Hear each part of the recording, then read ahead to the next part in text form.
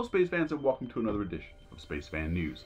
In this episode, okay, let's see, some astronomers, a former astronaut, the current director of the Space Telescope Science Institute, as well as the wife of Carl Sagan himself, along with some others, got together and wrote a, a white paper that makes the case for a telescope named after the famous astronomer Carl Sagan that will look for and directly image planets like Earth around other stars.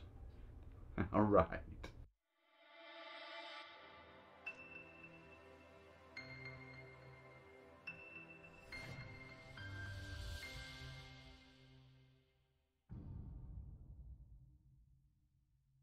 Now, if you are a professional astronomer or care about the future of research in space astronomy, as most of us space fans are, then the next year or so promises to be rather exciting.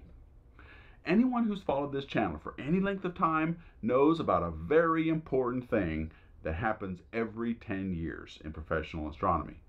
The Astronomy Decadal Survey, a once in a decade astronomy nerd fest where decisions on what the next generation of astronomers will be able to study and questions to undertake, including what questions to ask, and of those questions, which ones are within our grasp to definitively answer. Now, as part of this survey, which they've been doing since 1964, several teams of scientists create elaborate proposals submitted to the National Academy of Sciences for missions that they would like to see built that would answer some of the more exciting questions in astronomy and cosmology. Now, these proposals are submitted and reviewed by an NAS panel that will select and prioritize these missions. At the end of it all, a report is written and submitted to the community and as well as government agencies, spelling out clearly and precisely what astronomers in the field think are the most important questions facing astronomy and of the proposed missions that were submitted, which are best able to answer those questions. But the big winner will be the top priority that's endorsed by the survey, and that one usually gets for sure built. NASA, for one, pays very close attention to these priorities. The last time it came out, it, the first priority was WFIRST that won, and it's being built right now. Before that, it was JWST, and way back when, Hubble won the blue ribbon. So you can see that this event is a big deal if you care about the direction and the priority of astronomy research. So here we are at the end of 2019 and 2020 looms just a couple of months away. Now, leading up to this moment, over the past two years, I've held hangouts, in fact, twice, with four of the biggest contenders for the top spot in the Decadal survey. Now, I've put the links to those hangouts in the description box if you want to learn more. And I've also made some shorter videos on some of these as well, like for example, WFIRST is, is up there. Now the four biggest missions vying for attention is LUVOIR, HabEx, the Lynx X-ray telescope, and the Origins Space Telescope. Now the first two, LUVOIR and HabEx, are especially interesting because they are concerned with looking for and characterizing habitable Earth-like planets. They want to find out how many planets like Earth are actually out there. And we're not just talking about ones that are about the size of Earth, but ones that are like Earth. Now, I don't think anyone will be surprised to learn that the question of life in the universe is among our most important, and astronomers are slavering to get an answer to at least some of these questions that we've only just begun to get some tantalizing answers for. I mean, we now know there are other planets around other stars in our galaxy thanks to Kepler and now TESS. And our kids are the first generation to grow up knowing this amazing fact. But we need actual evidence that there are not only other planets, but that some of these planets are just like ours, with surface oceans and atmospheres with carbon dioxide and maybe even plants and animals. These are burning issues that we'd all love more evidence for. Which brings me to the Carl Sagan Observatory, or the Carl Sagan Space Telescope. Now, I was reading a very interesting white paper written by some amazing people in the field. Heidi Hammel from AURA, John Grunsfeld, which was an astronaut who repaired Hubble for the last time, Ken Sembach, the, direct, the current director of the Space Telescope Science Institute, and even Ann Druyan, the wife of Carl Sagan, and many others were listed on this white paper. And they are making the case that in order to find planets like ours, we need the capability to directly image exoplanets around other stars. Now, the telescope would be specially suited to its task. The Sagan Observatory would be a 12 meter class space telescope. That's 40 feet for us Americans. And here is what it looks like compared to Hubble and JWST. And as you can see, it's a whopper. It's way bigger than JWST. So the white paper went on to explain what else this telescope would need. It would need to provide reflected light spectroscopy of dozens of planets around nearby stars.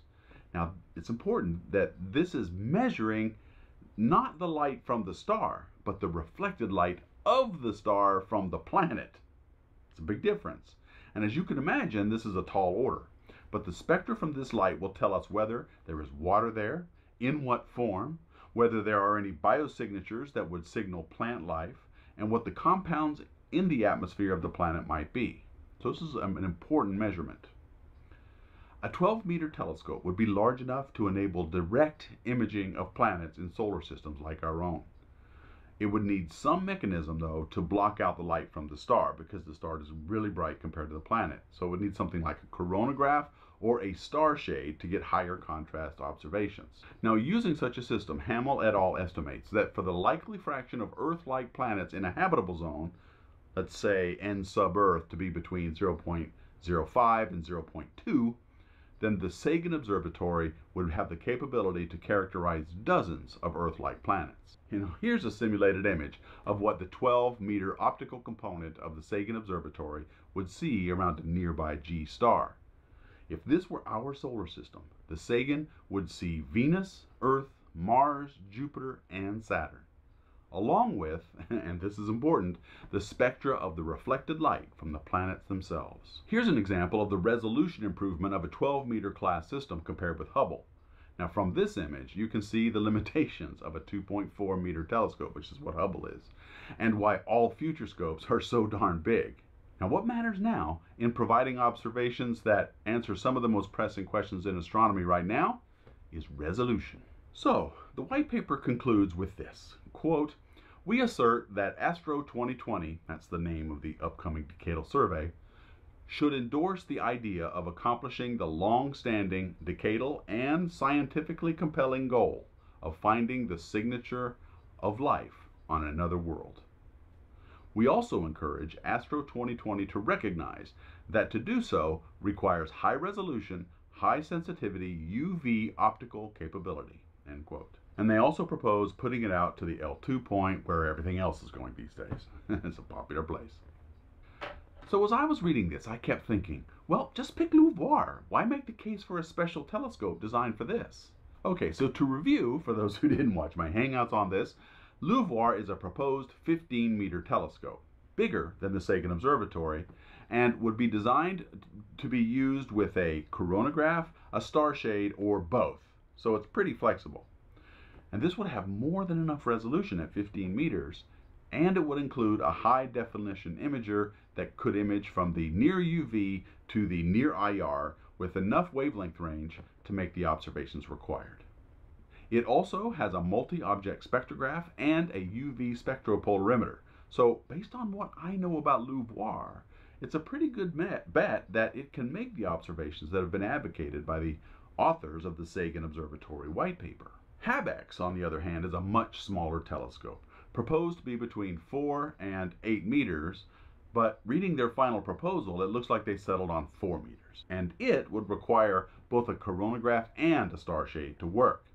At that diameter, though, direct imaging of Earth-sized planets would be a pretty, a pretty big challenge.